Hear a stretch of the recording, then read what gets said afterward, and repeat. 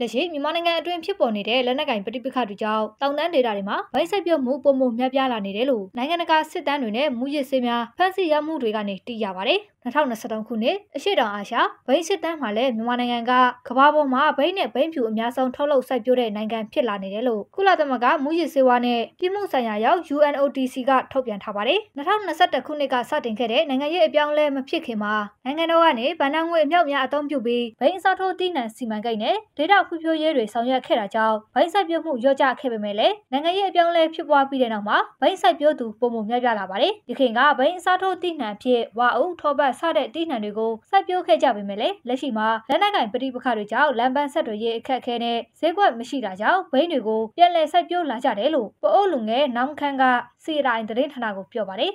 ချက်ပြုံးမှုချက်ပြုံးမှုမြင်လာဆိုတော့ရှိနေတယ်ကိုဒါပေမဲ့လည်းဟို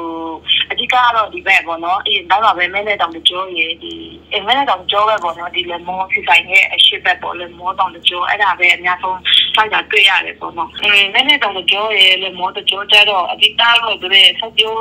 အာတဲ့အိန္ဒိယဘဝင်တဲ့တောင်ဆောင်တွေခဏနာတော့တခြားအစားထိုးဒီတိုင်းစိုက်ဖို့ကတော့တော်တော်မလွယ်ဘူးပေါ့နော်အဲ့လိုဆိုအော်တချို့ကစိုက်ဖို့ရရင်တောင်ကုန်စည်လုံးမရှိတဲ့တစ်ဖက်ပြီးသူတို့တဲ့ပို့ဆောင်ရေးချေကအရင်မြင့်တဲ့တစ်ဖက်ပေါ့နော်အဲ့တော့အများဆုံးတော့မဆိုင်ဖြစ်ကြဘူးပေါ့နော်။စားထိုးတင်အရင်တော့ထိုးအစားထိုးဖို့ရယ်ဟိုဒီမဲ့ဝါဦးတို့ထပ်ပတ်တို့ပေါ့နော်။ဒါပေမဲ့လည်းအဲ တည်ယူစေကအရင်မြင့်တယ်ရဲ့ပြင်ဝါဦးတဲ့စစ်ကွက်မငင်ပါရဲ့ပေါ့နော်။ဟုတ်အဲ့ဒါကြောင့်သူတို့ကတော့အပေါ်ပြဆိုင်ရလွယ်ပြီးတော့တည်ယူရပေါ်ပါတဲ့ဘေးကိုပြန်ပြီးရွေးချယ်ဖြစ်တာများမယ်ဟုတ်တယ်အဲ့ဒါကတော့လေ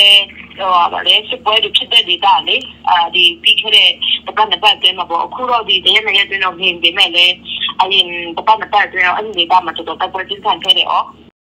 ပြီးခဲ့တဲ့2015ခုနှစ်ကနေစတင်ပြီးတော့မြန်မာနိုင်ငံရဲ့ဘိန်းဆက်ပြုတ်မှုကတဖြည်းဖြည်းလျော့ကျလာခဲ့ရာ2019ခုနှစ်မှာ17ရာခိုင်နှုန်းအထိလျော့ကျခဲ့တယ်လို့ကုလစစ်တမ်းတွေအရသိရပါတယ်။ဒါပေမဲ့2021ခုနှစ်ကနေစတင်ပြီးတော့ဘိန်းဆက်ပြုတ်မှုနှုန်းတွေပြန်လည်မြင့်တက်လာခဲ့ပါတယ်။ဘိန်းဆက်ပြုတ်တဲ့အဓိကနေရာဖြစ်တဲ့ရှမ်းပြည်နယ်မှာ20ရာခိုင်နှုန်းတိုးလာနေတယ်လို့ UNODC ကဖော်ပြထားပါတယ်။ဒါအပြင်ရှမ်းပြည်နယ်မြောက်ပိုင်းမှာဧက3သိန်းကျော်ကချင်ပြည်နယ်မှာဧက1000ကျော်ချင်းပြည်နယ်မှာဧက2000နီးပါးကယားပြည်နယ်မှာဧက1000ကျော်နဲ့စကိုင်းတိုင်းဒေသကြီးမှာဧက600ကျော်ထုတ်ချက်စိုက်ပျိုးခဲ့တယ်လို့ UNODC ရဲ့အစည်းအဝေးခန်းစာအရသိရပါတယ်။ဝင်ငွေအခက်အခဲတွေကြောင့်ဘိန်းကိုရွေးချယ်စိုက်ပျိုးကြတာဖြစ်တယ်လို့ပို့အမျိုးသားအဖွဲ့ချုပ် BNO ပါတီမှစောခွန်ကျော်ဝင်းကစီရိုင်းသတင်းဌာနကိုပြောပါတယ်။ရှိဒီဒီဒီချိန်တော့တာလေစိုက်ပျိုးတဲ့ရာသီချိန်တော့မဟုတ်ဘူးပေါ့နော်။ဒီလာတဲ့ရာသီတော့မိုးရာသီတန်ကြတာတော့မပြောနိုင်ဘူးပေါ့နော်။ဒါပေမဲ့ကျွန်တော်တို့ကအစီကောင်းဆောင်တွေကဒီဘိန်းမဆိုင်ဖို့ဟောတာဟောတာပေါ့ပေါ့ဘယ်လိုပြောမလဲဒီမဆိုင်ဖို့တဲ့ပညာပေးတယ်ဘိန်းနဲ့ပတ်သက်ဆိုးကျိုးနဲ့အများနဲ့ ပညာပေးတာလူထုနဲ့ပညာပေးတယ်ပေါ့ဒါပေမဲ့တကယ်နေဒီမှာလည်းတခါလေးကတော့ဘယ်လိုပြောမလဲ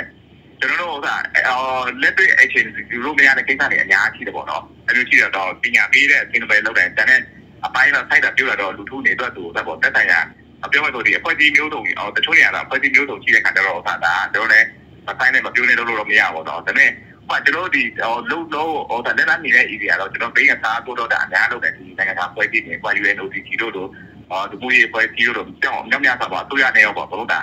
တက်ကြီးလဲကျွန်တော်တို့ပေါ့ဒီဘေးစားတော်လုံးကနေတော့အများလုံးပဲပေါ့နော်ဒါပေမဲ့ဟိုကတိုက်ဖို့ပြောဖို့ကိစ္စတော့ဒီဟိုပရိုဂရမ်လူထုကတော့သူဟိုတာပေါ့အာသူတို့ဝင်ငွေရအရက်ချက်ချက်တဲ့ဝင်ငွေရတဲ့မိနာတော့လေသူတို့ကလောက်တော့တော့ရှိမှာပေါ့နော်အဲ့ဒါဒါလည်းသူတို့ကဟိုလောလောဆယ်တော့ဒါဒီဟာကောင်းကောင်းကြီးဆိုးကြီးဒီဆိုးကျိုးတွေအတော့ပြောပြတယ်ပါဒါပေမဲ့ရွေးချယ်ပိုင်းဆိုတော့အဓိကဒီလူထုပဲပေါ့နော်အဲ့လိုပေါ့နော် ဘိန်းတပိတ်တာကိုအနှိမ့်ဆုံး၈သိန်းကျပ်အထိပေါက်ဆဲရှိနေပြီးဘိန်းခင်းတအေကမှာ၄ပိတ်တာကနေ၆ပိတ်တာအထိထွက်ရှိတယ်လို့သိရပါတယ်။2021ခုနှစ်နိုင်ငံရေးအပြောင်းလဲဖြစ်ပွားမှုကြောင့်လက်ရှိကြုံတွေ့နေရတဲ့နိုင်ငံရေးအခြေအနေ၊တိုင်းပြည်စီးပွားရေးကျဆင်းမှုနဲ့အတူကုန်စည်နှုန်းကြီးမြင့်တဲ့တန်တွေကဒေသခံတောင်သူတွေကိုဘိန်းစိုက်ပျိုးမှုလှုပ်ဆောင်ဖို့အတွက်တွန်းအားပေးနေတဲ့အချက်ဖြစ်နေတယ်လို့စီးပွားရေးလေ့လာသုံးသပ်သူတွေကမှတ်ချက်ပြုကြပါတယ်။လက်ရှိမြန်မာနိုင်ငံကကမ္ဘာတော်ဝန်ဘိန်းစိုက်ပျိုးမှုအများဆုံးလို့သတ်မှတ်ခဲ့တဲ့ပါကစ္စတန်နဲ့အာဖဂန်နစ္စတန်နိုင်ငံတွေထက်ကျော်လွန်နေတယ်လို့ကုလစစ်တမ်းတွေရသိရပါတယ်။